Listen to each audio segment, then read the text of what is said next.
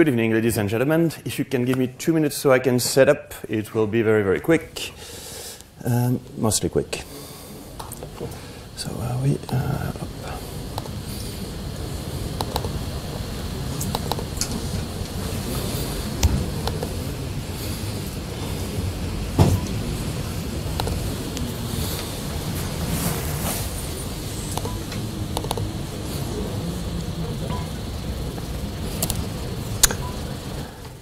Right.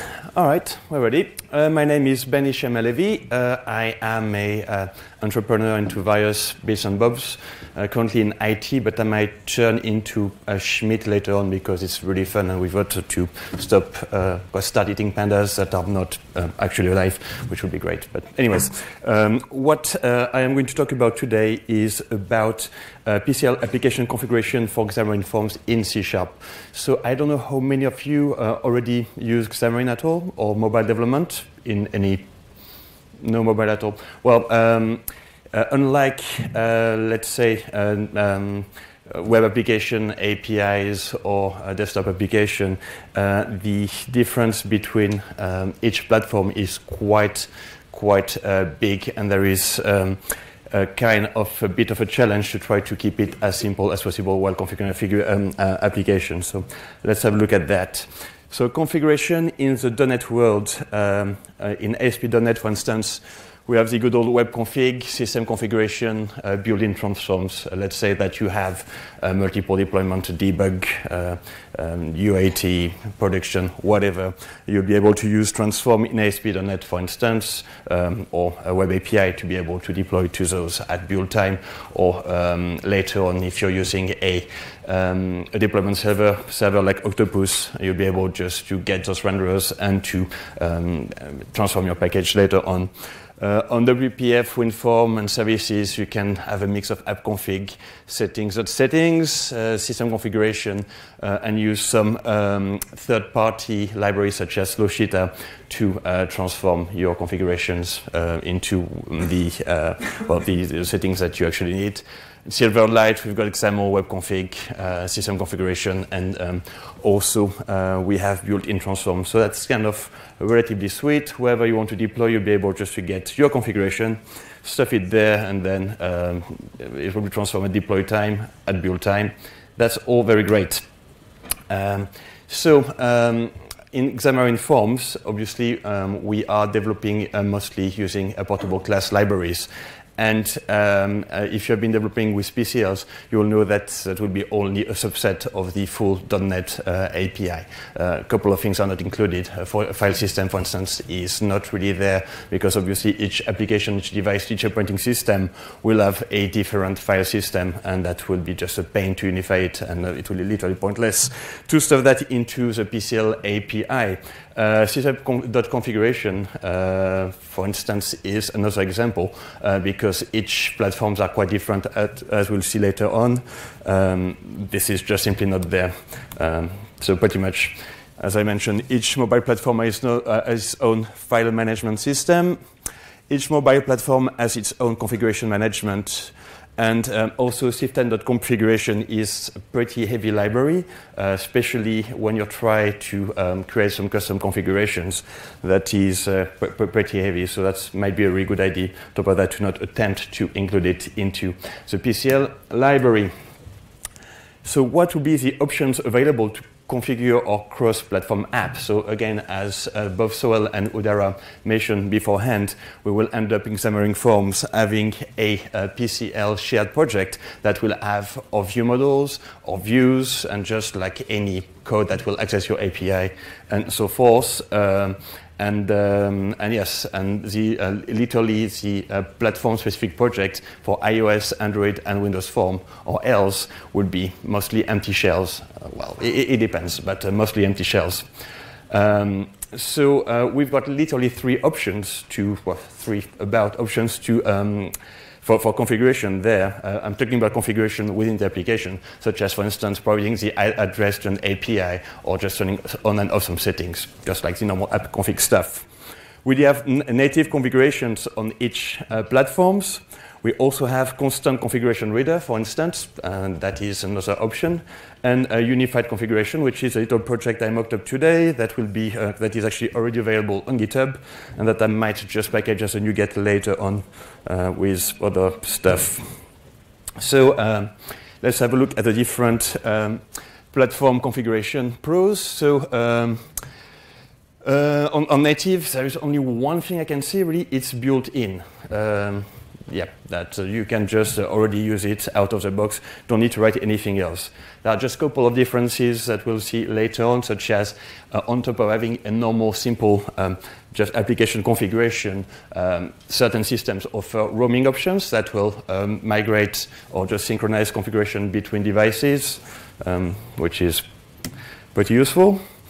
So the cons of uh, native platform configuration is just one config per platform. So if you are going to develop for iOS, Android, and Windows Phone, you'll have to put that on, on the three uh, on the three platforms separately.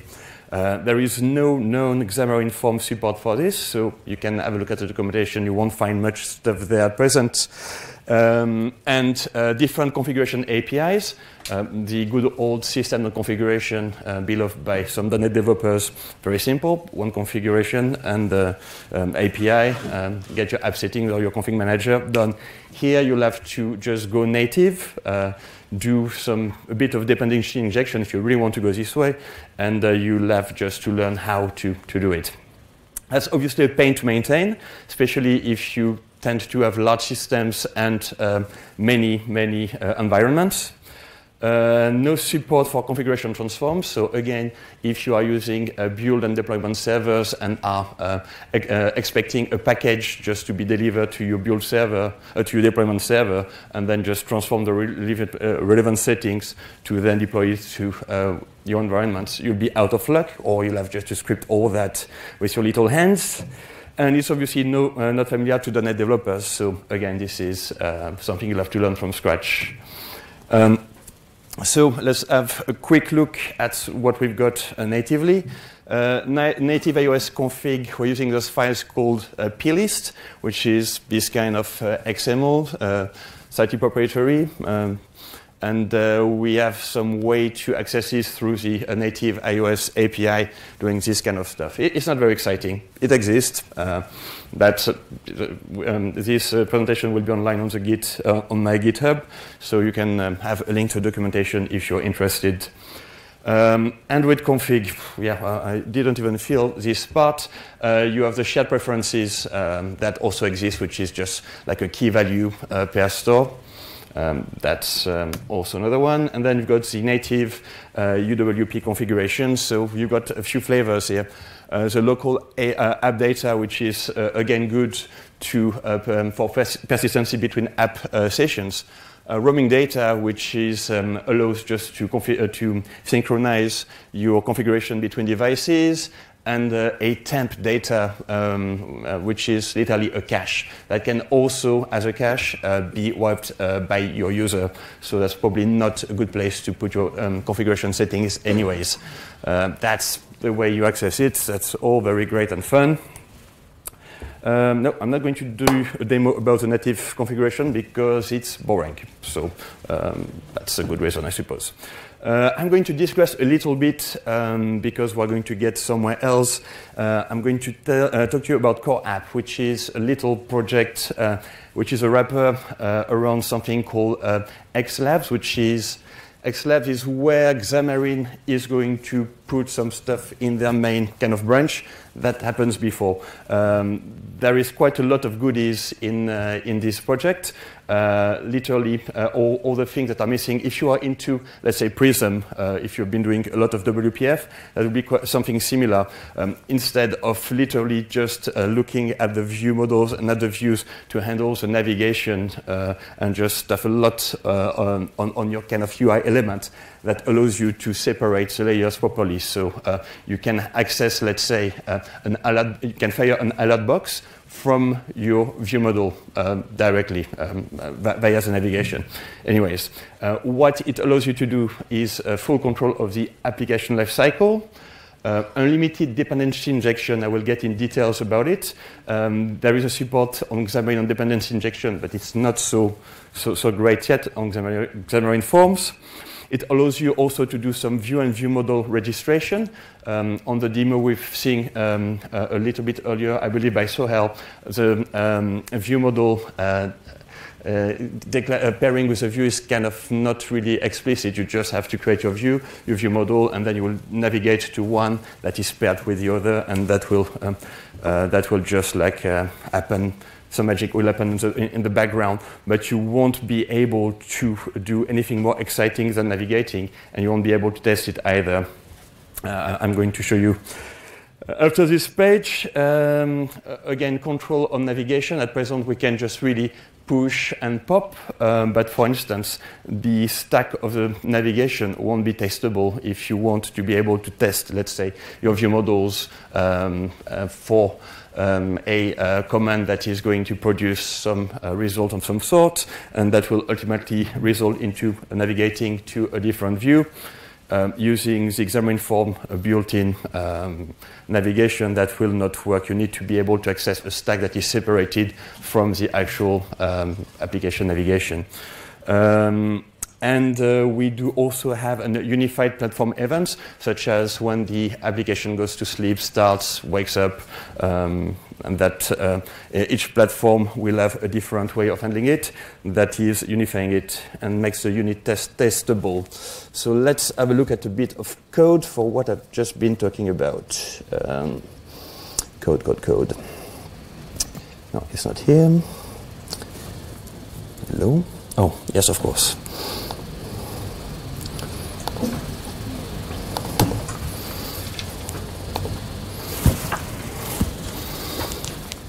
All right.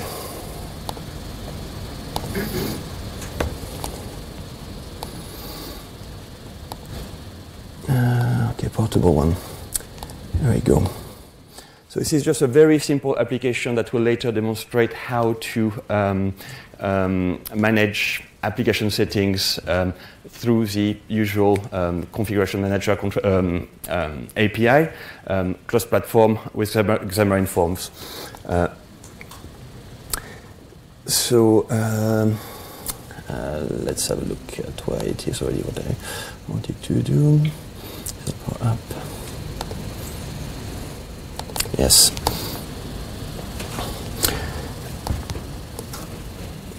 Hmm. Yes, no. I need to just go through another piece of slide. Sorry.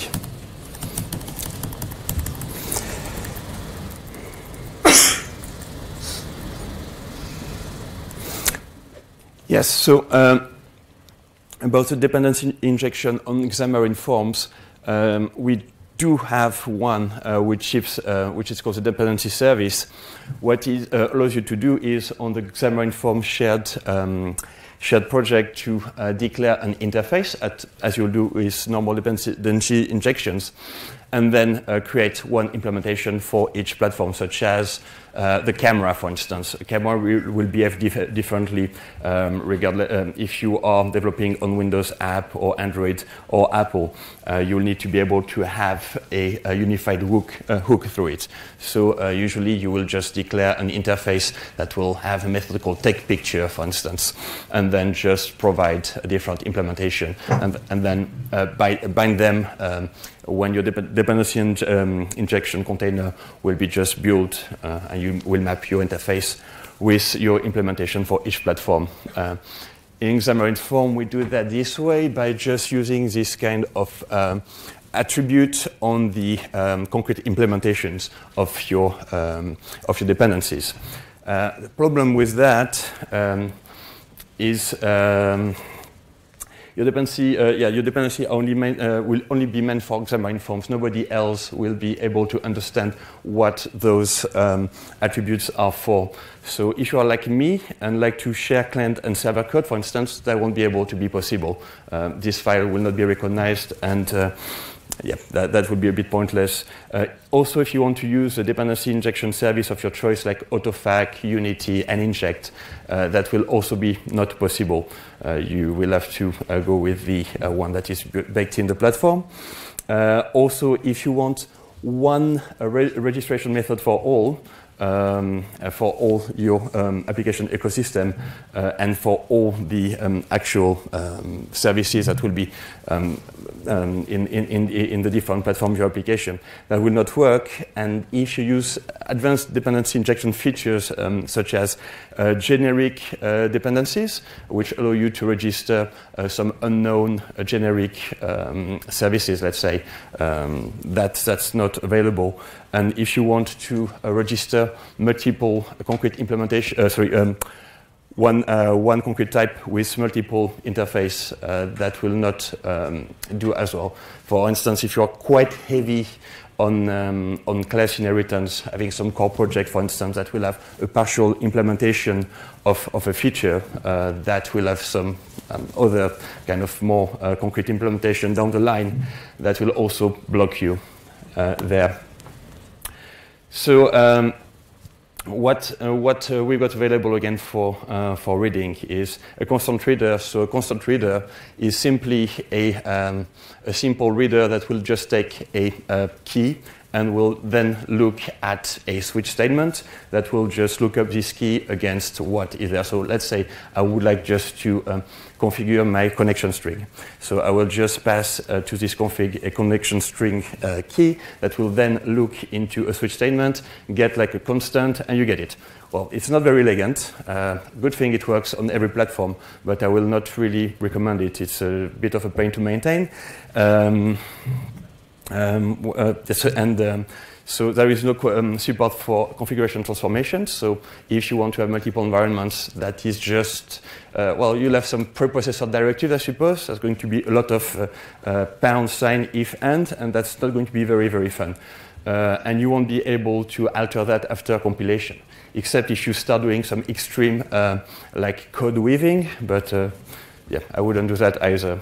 So um, let's say it's not very elegant.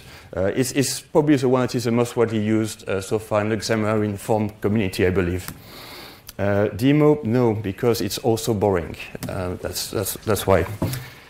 Um, then we've got the fun one, the unified app one. Uh, so you just have one, it's literally a port of the app uh, setting reader, but for the Xamarin Form platform. So you just keep your XML file with your um, app setting and then add key.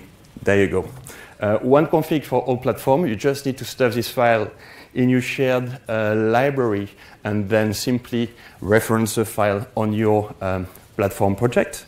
Um, one API, which is again uh, simply uh, well, I will go through the API, but you simply just pass the key that you want to find, and that will fetch it.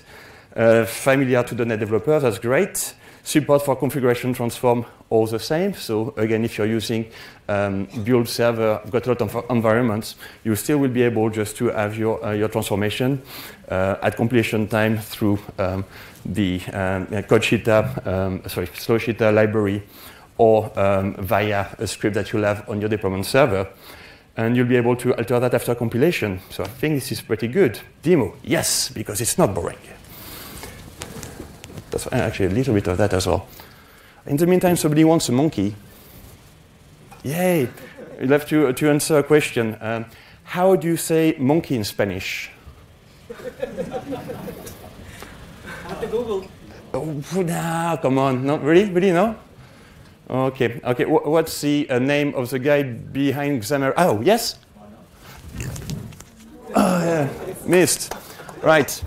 Uh, who is the guy that kind of founded Xamarin and that did also the Mono project? Uh, who, who? Say that? Yeah. Yeah. Hit. Okay, two for later. Got to save the monkeys.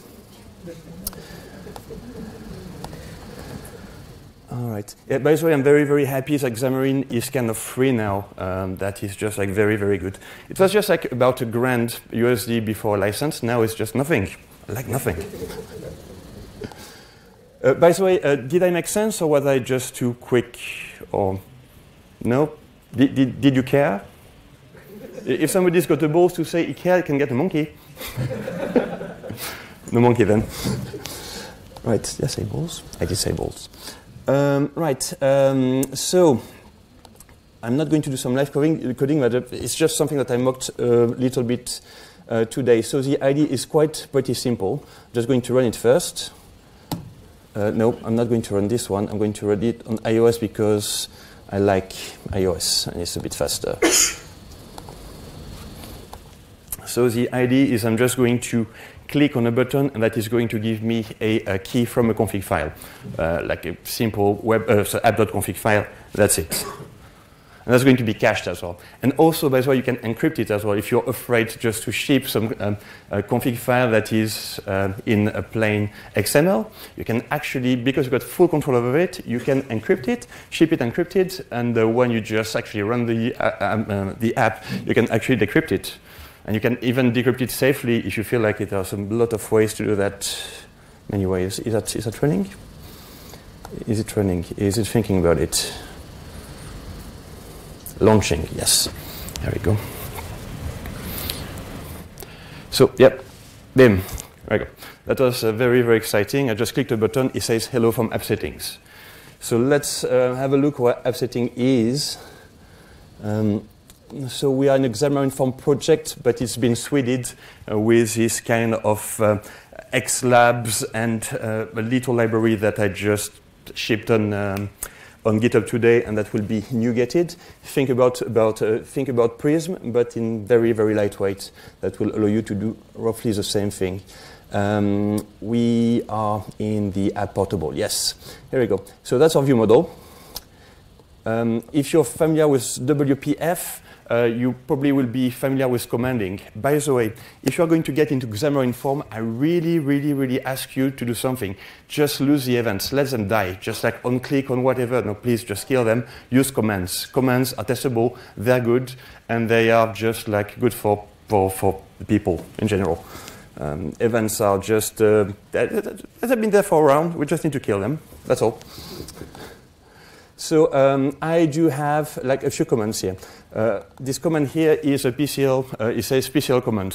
What I do, um, because I don't, I'm a bit lazy to write some commands all the time. Think, if you're not familiar with commands, think about it as an action that you have security of execution that you can bind to a, uh, to, to, literally any control on, um, on your XAML.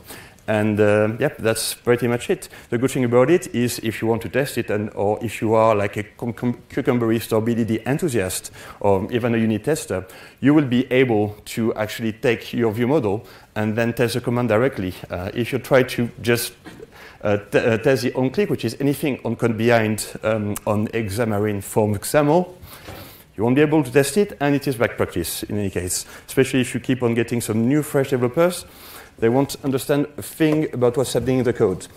Again, that's not a good thing to do. So um, this command is simply just going to do something. It's going to execute this command, and that is just a prerequisite. Uh, it's true, we can execute it.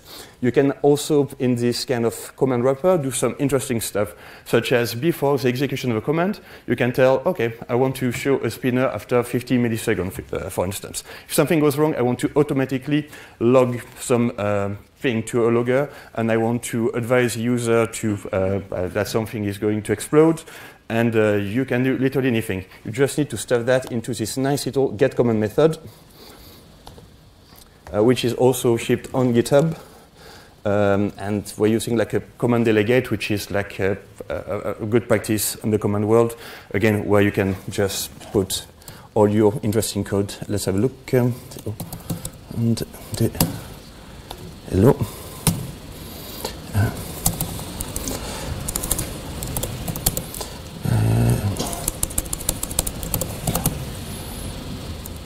there we go. That's the command delegate we are talking about. So we're just checking if it executes at the start, and then we can just um, spin um, a, a, task that will be able to um, handle whatever you want to handle around this command, which is a bit more interesting than just clicking on an event, if you ask me. Uh, so let's go back to this uh, core application. Uh, no, sorry, where were we? On view model. There we go. So uh, we didn't implement that because we said it was not very interesting.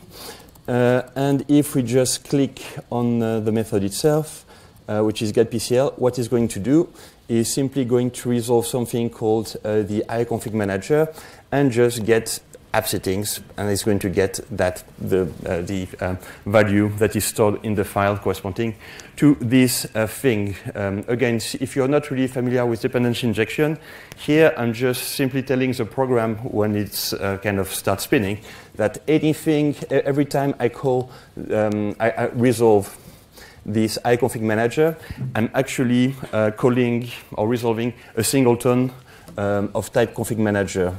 Um, I can demonstrate it this way quickly. Uh, and uh, yes, so uh, here we go. That is how you do the things. Here, um, instead of using the built-in Xamarin Form um, dependency injection container, I'm just set up some hooks at every single level. So at the PCL, um, at the PCL uh, shared library level, iOS, Android, and Windows Phone. You can literally register whatever you please. That will be available absolutely everywhere uh, in, uh, in your, your code. Um, that doesn't have even to, to remain within the Xamarin Code ecosystem. It goes everywhere. So here we're just saying uh, iConfig Manager is going to be of type config manager. By the way, if you're interested into um, uh, generic registration with dependency injection, that's the way we do it.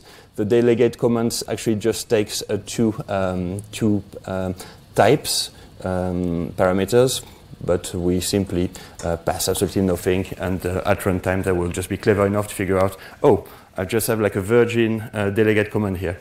Let's resolve it. So now if we go to config manager, uh, we can see what's happening here. Um, so um, I actually made this one a bit extensible. Uh, it will be able to work with the normal app settings um, and then add value um, and then uh, value value. Um, but you will be able to extend it to create any kind of custom, uh, again, markup in your app.config um, because it's actually mapped to a simple POCO. We're mapping a POCO to a XML uh, file and um, that just works like magic. So the only thing I'm just doing here, uh, I'm trying to, I'm, I'm, loading an XML file, uh, which is done kind of here.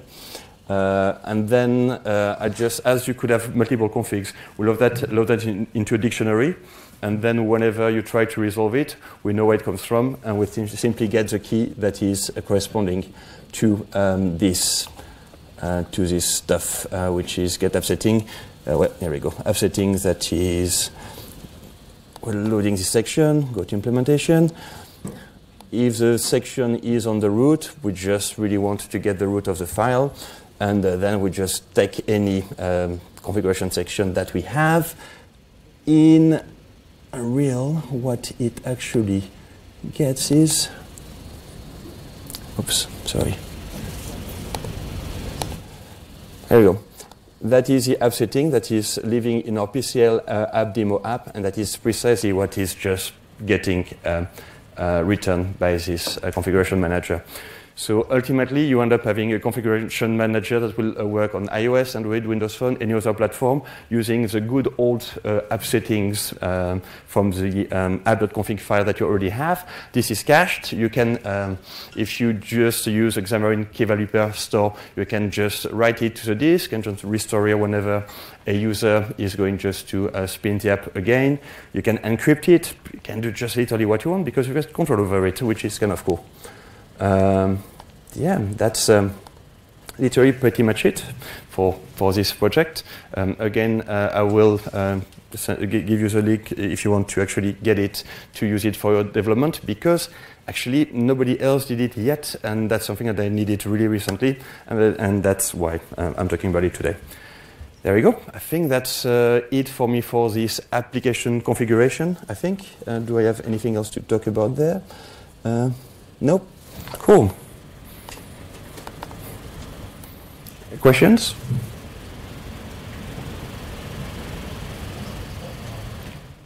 About anything? Xamarin? Uh, well, I've been like literally looking with Xamarin at the time that just started existing as the Novell Times. Been working with my team with uh, Jason Smith that is developing, uh, which is a lead for Xamarin Forms uh, in, uh, well, before it was in California, now they moved to Seattle because Microsoft acquired it. We got a, pretty good knowledge of the uh, inside out of Xamarin. So literally you can try to fire anything at me, I might have the answer. If I, ah, yes, here we go. You, you, you're the first, you get the... There we go. So uh, I started with Xamarin, but uh, I had a hard time in compiling, making a compiling machine for the Mac and iPhone. So is there any easy way to attach a Windows phone with a Mac for compiling and running on simulators? So, so uh, you have, uh, you're having a hard time compiling your application? Connecting a Windows platform with a Mac. Uh, so is that the same Mac, or is that like a Mac that is... Uh, I was using Mac Mini uh, for that. Uh, an external Mini. Um, well, a good way to do it is just to use Parallels. So you just uh, actually um, use uh, Windows as a VM on your on your Mac. That would be definitely the most reliable one. that's what I would recommend, uh, number one. If you cannot do that, uh, and is your uh, Mac Mini within your premises, in your network? Yes. phew. Um, well, there we go. Get uh, yeah, just install Windows on your Mac and just, just do that. There you go. Buy some Mac. In the cloud? Ah? Xamarin Test Cloud? Xamarin Test Cloud. You want to know about it? Yes. yes. So it's pretty good. There you go. No, Xamarin Test Cloud is, uh, if you're not familiar with it, is literally a pool of devices that are attached to cloud connected computers and you can actually push some uh, BDD, which is behavior driven development tests, which is written in Cucumber uh, to some extent. You may or may not be familiar, but basically that goes along this. As a unauthenticated user, when I am on the login page and I put my username on the username box and my password on the password box, and then I click the uh, register, uh, login button, then uh, I am redirected to the uh, welcome page and I can see on the top right corner, welcome Ben. So that is literally what is Cucumber. So um, that is really removing the fear of testing from people that are afraid of testing. Uh, this exactly is the text that I just uh, told you. You just press a button that is going to create a scaffolding of uh, things to test. So you don't even have to think about what to test. And, uh, and then that's it. You just make your way up by Xamarin. Um, that will be looking at a view model and then just look at the properties, uh, just or simply call a command. So I'm going to add to the view model my username, my password, and then I'm going to call the command login, and then that is going to redirect me uh, through navigation services that has been abstracted by using uh, XLabs, which is the stuff I talked about. If you just go plain Xamarin Form, you won't be able to do that.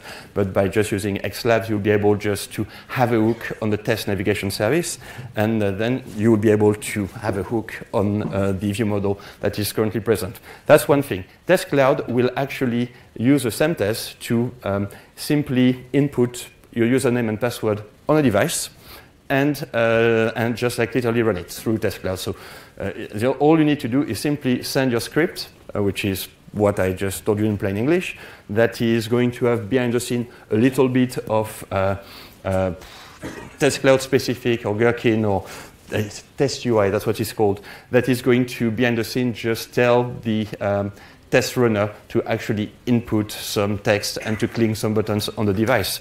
So that allows you to literally test, like, I don't know, 10, hundreds of devices uh, with just different operating system, different format, form factors, whatever, uh, and that will provide you as well with screenshots of when things go wrong, or screenshots of uh, every single step. So you'll be able to figure out uh, when your application is not behaving, if the UX is consistent, if the UI is just properly implemented for the mega, uh, giga, duper tabs, or just very, very small um, iOS watch. That is just pretty good. And now is super cheap as well, right? Isn't it? The cost is only $1.99 per year Yes, that's it. No. Uh, that'll be good. no, I, I, believe that with, uh, with uh, the MSDN subscription, you just get like a 25 or 50% off uh, for something that is all right. And uh, yeah. Yeah, days, uh, there is a Xamarin Evolve, if you know now, it's in the US. So there's some something new will come out that hopefully is a, can say this, it's a good news. Just, just stay tuned with Xamarin, okay? That's what I can add. Yes, but um, um, way, Xamarin um, Test Cloud is not for testing Xamarin, is just to test literally any single app. It is pl- platform agnostic because we're not writing code against the actual application. We're just writing code about a runner that is going just to tap some buttons on, uh, on one UI. So uh, in any case, it's very good. A lot of customers are actually ne- not necessarily using Xamarin, will be using it. Uh, one more question. Yep. So far, it's Xamarin is all all about the C sharp, right? Uh, well, no, actually, you can. Uh, I love F sharp. Sharp is great. Unfortunately, I don't know much sharp, but there was one that was on the last talk, and uh, he, he, he says the, uh, the right stuff is C sharp is great, but it's very busy. Yeah, but uh, what about the support for the JavaScript framework like Angular, Backbone? Uh, well, well, but you want my honest opinion on JavaScript? No, you don't want it. Um, uh, you really want it. Uh, TypeScript, though, yes, you can have my opinion on TypeScript. TypeScript 2, wow, awesome. Before that, whew, yeah. um, but uh, I, I don't believe they've got plans to do anything with JavaScript because uh, it's, it's, it would be wrong. That's the whole point of Xamarin uh, they wanted to uh, implement in C sharp. For programmers, not hackers. sorry. yes, yes, yes. No, sorry, I, I, I really can't stand JavaScript. It's just type safety uh, should be just like a given. If you don't have type safety, safety, don't talk to me. That's it. Uh, what what are good resources to learn about Xamarin? What good resources actually is the Xamarin um, um, um, platform already has got quite a few links there. If you've got an MSDN subscription, you will have a link to the Xamarin University, I believe, which comes free for that. Uh, there is a huge support. The community is very vibrant. If you've got a question, just post anything on the forum. You, I can guarantee you'll have somebody replying to you within not that, that much uh, time, especially since Microsoft bought Xamarin. I suppose that a lot of Microsoft minions are going to help um, the um, Xamarin team, and everything will go faster. Yes, both. Yes, yes. Sorry, I, I've been fantasizing for Microsoft to buy Xamarin that for the last three years. So now it happens. I can't register it. That's, that's terrible. But uh, yes, uh, honestly, the Xamarin uh, forums are, are, are, great. If you see any issue, oh yes, there's only one thing. Miguel de Icaza just really like Bugzilla. Uh, I don't know why. So it's just forcing Bugzilla on everyone. Which I don't know. We've got Jira. We've got a lot of nice uh, bug tracking system. Bugzilla is not one of them. That's all. Except if you like, uh, I suppose, if you like uh, command prompts a lot, or maybe, maybe, some extent. Forms are they production ready?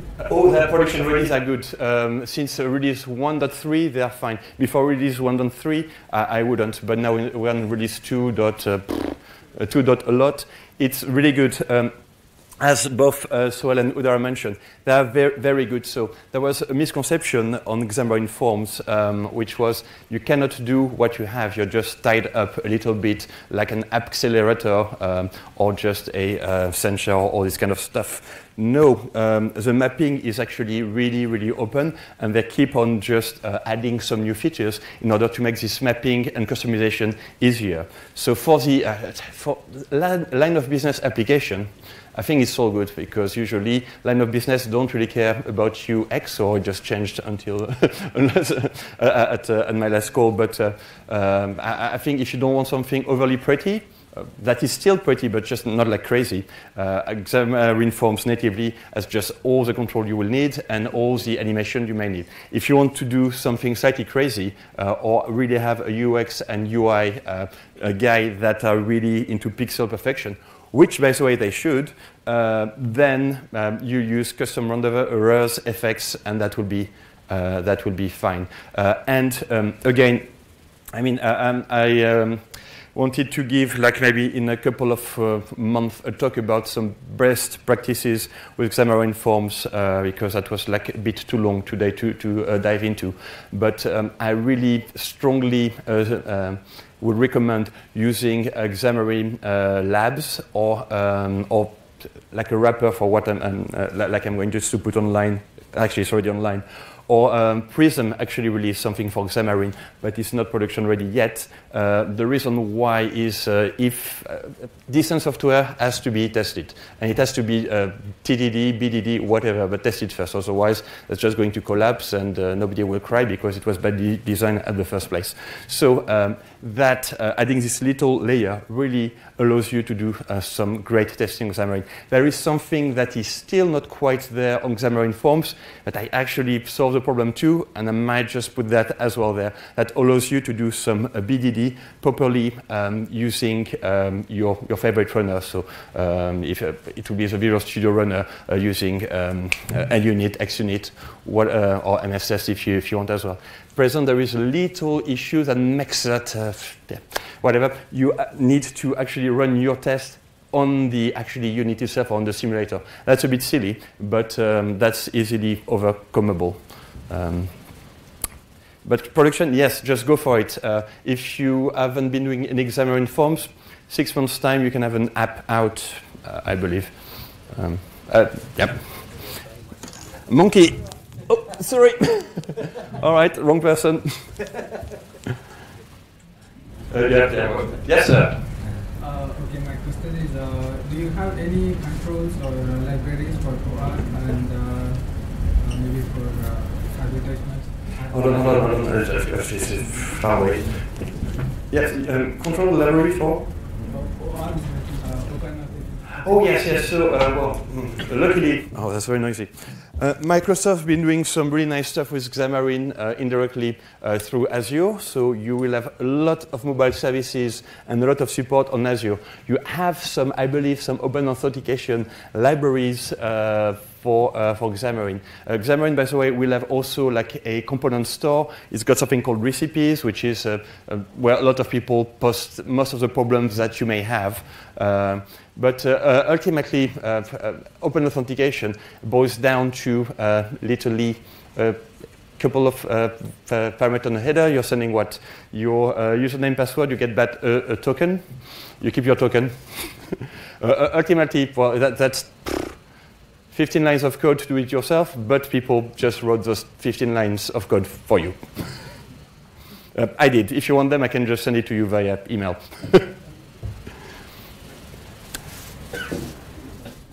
Uh, we've got some pens. I'm not going to throw them because I might damage someone. Uh, but we've got two pens there. Uh, whoever's got a question gets a pen, even if it's, a, I don't know, question about cheeseburgers or what is your favorite cheeseburger? Yes, yes. What are the challenges of migrating? You already have the code base in Android and iOS. Yes. You want to explore Xamarin and see how to standardize. You want to share the logic. Yes. So what's the challenges? I mean, do you have any advice? Qu- qu- First of all, if you, um, uh, it depends on how you design your app at, at the start. If you already um, separated your layers nicely, um, kept the UI in one end and the rest somewhere else uh, through services, through whatever is your favorite uh, uh, practices, then that will be just like super fast because you just, uh, you, you've been doing some Windows Phone app, you're saying, right? Yeah. And, and Android as well. So you already, your team or yourself already have the knowledge of, of native apps. Uh, native apps, yeah. We Yeah. have iOS and Android apps. We have uh, quite gone deep in it, and then we have written a lot of code. Well, That, that, that is good. So, even recommended to, to go and uh, look at Xamarin. no, no, absolutely. Uh, to, to, to be honest, if you've got like a na- native knowledge, that's going to be much easier because you'll be able to know what is actually uh, the limits that you can push the framework to. You'll be able to see that you can achieve it. So again, as soon as long as your code is separated, you can actually take the code you already have that is non-UI and just put that. Is Uh, any case study or something that I can refer to? Someone has already tried this, um, already published app. I mean, you, you, you have customers and you, you want to try whether you can standardize it because we, we spend a lot of time trying to or- or you've been trying that. code in different uh, code bases, so Ye- it's yeah. a lot of time. Xamarin will help a lot. Uh, Xamarin will definitely help, and again, it's C sharp. You've got. Uh, are you? Have you got a Yeah. .NET background as well? Yep. Th- th- that uh, that would be great. Uh, just it, it will be. It's easier than uh, people think. Mobile development used to be a little bit like uh, five six years ago, uh, messy. uh, to say the least, uh, with all these different uh, cross-platform um, companies launching various products, JavaScript-based, whatever-based. And uh, at the end, that was annoying because you had a hard time to be able to actually customize what, uh, whatever you had. And again, if you were a .NET developer, you, you well okay you can go Java it's easy but it's just a bit slow fine uh, um, uh, then uh, for at the time we had what uh, Swift is better but Objective C is literally not something that you really want to code with if you're a sane person uh, then, Yeah, maybe we can take it offline. yep all right Uh, I just want to add that. uh, oh Ben Thank you. uh, if you are like concerned that uh, I spent six months on developing one Android app and I spent another six months developing iOS app, why do I, why do I need to spend another six months developing same in Xamarin? Uh, so the, the answer is you are uh, just going to spend this six months in Android and iOS. You are not there to just do it six months and then publish it. You are going to maintain it for years then. So that's the main question. Uh, that's the main where it comes to the process. You will maintain it very beautifully and very uh, using very less resources and less time if you are doing the process. So that's that's one question. That's fine. Have a good time. Thank you guys. there's, still, there's still one pen couple of badges and some stickers here some somebody So can I get the pen then? I would like to say thank you very much to the speakers. Yeah, and uh, I would like to say thank you to Michael from Engineers.sg for the recordings. So if you miss out anything, you can visit Engineers.sg for the for the recordings. Thank you very much.